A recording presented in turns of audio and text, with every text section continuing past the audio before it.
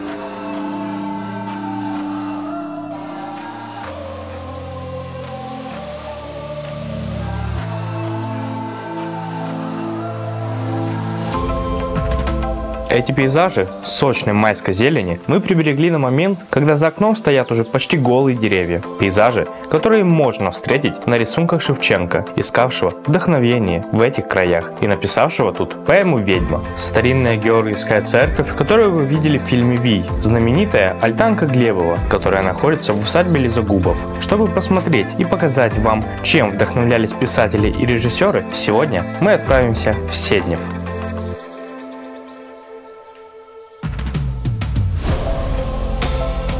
В 30-х годах прошлого столетия Седнев был популярен как курорт. Здесь скупали земли и строили дачи. Еще по пути в Черниговскую область понимаешь почему. Дорога, которая практически всегда ведет через густые леса, приводит в небольшой поселок, природа и ландшафты которого заставляют просто устроить пикник на одной из полянок, но никак не заниматься съемкой видео.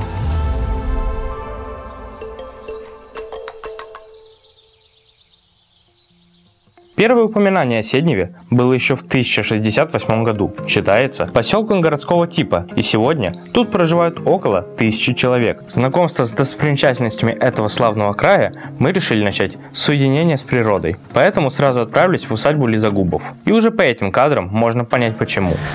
Этот прекрасный парк был расширен в 19 столетии братьями Андреем и Ильей Лизагубами.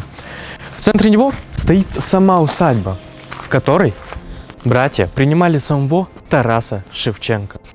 Усадьба является очень старинным местом. В течение трех столетий она была родовым гнездом и резиденцией дворянского рода Лизагубов, который происходит из казацкой старшины времен Богдана Хмельницкого. Первым же известным представителем этого рода был обычный казак Кондратий Лизагуб. Один из его сыновей, Яков, был черниговским полковником. Землю в Седневе Яков получил от гетьмана Мазепы, чьими доверенными лицами являлась вся семья Лизагубов. Строительство этой усадьбы в 1690 году начал сын Якова, Ефим, который тоже добился успехов в службе и был черниговским полковником. При нем и был заложен этот шикарный парк площадью 22 гектара. При нем же была возведена Воскресенская церковь, ставшая родовой усыпальницей. В 1924 году в криптах храма были найдены более 40 мумифицированных тел, большинство из которых принадлежали роду Лизагубов. С 1935 года Воскресенская церковь использовалась как складское помещение и пребывала в упадке до 80-х годов, пока не началась реставрация, после которой сюда были возвращены мощи одного из представителей семьи Лизагубов.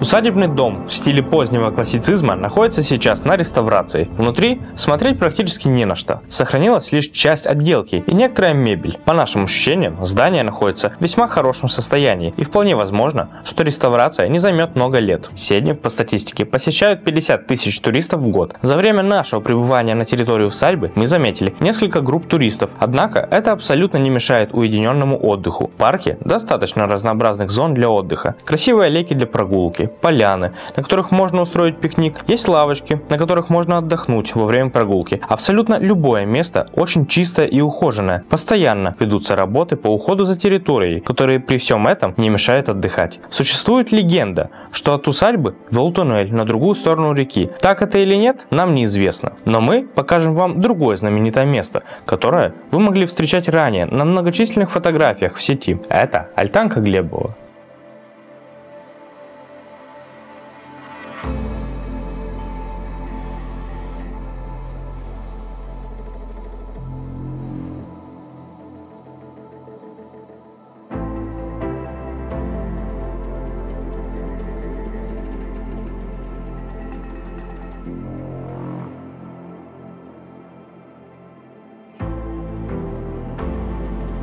Стоит гора высокая. Именно такие слова написал в своем произведении «Журба» Леонид Иванович Глебов, сидя в этой беседке вот с таким шикарным видом на реку и на бескрайнюю долину. Место действительно живописное, что идеально для поэта. И этими видами можно любоваться часами.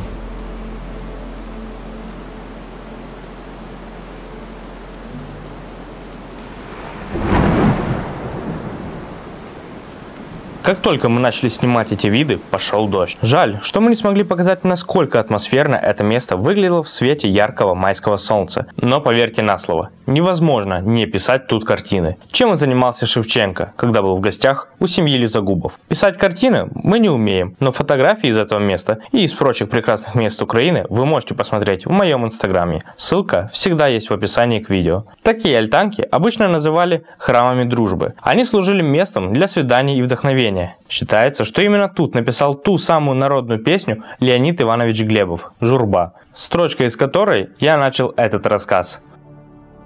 Стоїть гора висока, попід горою гай, зелений гай, густенький, неначе справді рай.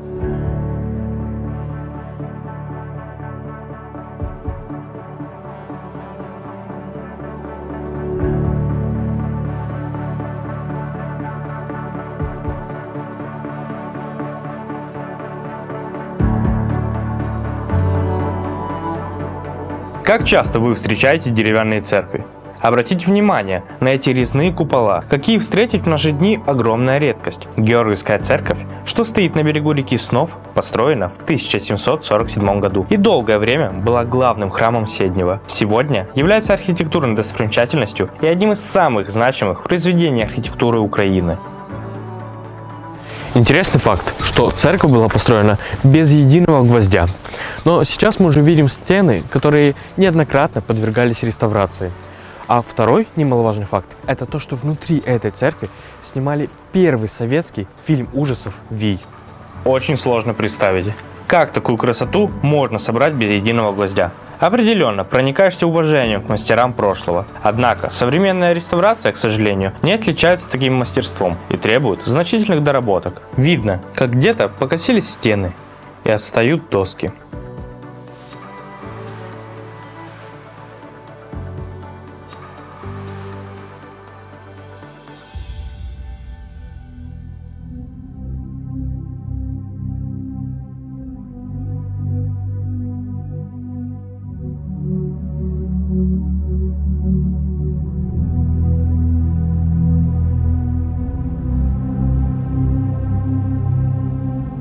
В этой церкви, которая расположена на месте древнейшего седнинского городища, казаки светили свое оружие перед военными походами, а в более современные года неоднократно была героиней фильмов. Например, вы можете увидеть ее в фильме «Батальоны просят огня». На кадрах киноленты можно заметить много элементов, которые сохранились до наших дней после реставрации. А самым известным фильмом, который снимали в этой церкви, пожалуй, можно назвать «Вий». После выхода ленты в Седнев стали часто приезжать не только туристы, но и звезды советского кино. Однако, большая часть съемок проходила не под этим куполом. На самом деле, авторы фильма сделали копию этой церкви, и в основном съемки проходили уже в съемочном павильоне. Сравнив кадры из фильма 1967 года с кадрами из церкви, снятыми в 2020, можно понять, что ранее внутреннее убранство церкви значительно отличалось от современного. По крайней мере, это подтверждают и те, кто застал те времена. Но это не значит, что сегодня в церкви не на что посмотреть. Внутри она очень ухожена, и оформление выглядит очень по-особенному. На полу лежат ковры. Иконы скромно украшены рушниками. Очень уютное место для молитвы.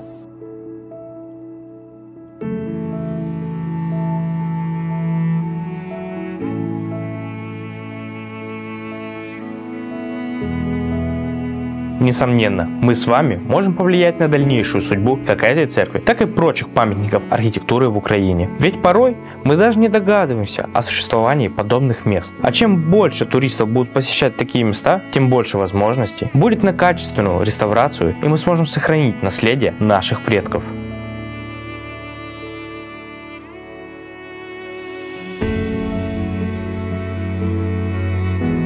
Надеюсь, у нас получилось напомнить вам о весне, когда за окном у многих из нас уже можно увидеть снег. Я определенно рекомендую заехать в Седнев. Неважно, какое это будет время года. Главное то, что вы сможете прикоснуться к истории и почувствовать то вдохновение, что посещало известных художников и писателей в этих краях. Порой маленькие городки, до которых нам рукой подать, хранят в себе множество интересных мест, о которых мы не догадываемся. Спасибо за ваши лайки и за то, что рассказываете своим друзьям о наших видео. Напишите в комментариях, какие интересные исторические объекты есть в ваших городах и почему их стоит посетить. Мы всегда читаем комментарии и стараемся посещать места, о которых вы рассказываете. Спасибо за просмотр.